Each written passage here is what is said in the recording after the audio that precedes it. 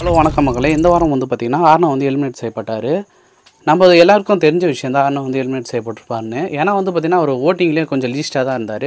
அதுக்கு முன்னாடி வந்து பார்த்திங்கன்னா தர்ஷா குப்தா இருந்தாங்க. அவங்களும் வந்து பார்த்திங்கன்னா கொஞ்சம் டேஞ்சர் ஜோன்லேருந்து விஜய் சேதுபதி மூலியமாக வந்து பார்த்திங்கன்னா டேஞ்சர் ஜோனில் இவங்க ரெண்டு பேர் இருந்து கார்டு மூலியமாக வந்து விஜய் சேதுபதி வந்து ஆர்னா வந்து எலிமினேட் செய்யப்பட்டார். அது மட்டும் இல்லாமல் இவர் வந்து ட்ராஃபியை வந்து சாச்சனா கிட்டேருந்து வாங்கி உடச்சி எலிமினேட் செய்யப்பட்டார். இவரோட கனவு வந்து பார்த்திங்கன்னா உடஞ்ச மாரி அந்த ட்ராஃபியை உடைக்கணும்.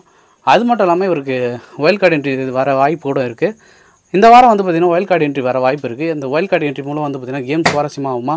ஆகாதான்னு கமெண்ட் பண்ணுங்கள் மக்களே. அது மட்டும் இல்லாமல் நாளைக்கு வந்து நாமினேஷன் இருக்குது நாமினேஷனில் வந்து பார்த்திங்கன்னா இவங்க வந்து மாற்றி மாற்றி வந்து குத்திப்பாங்க.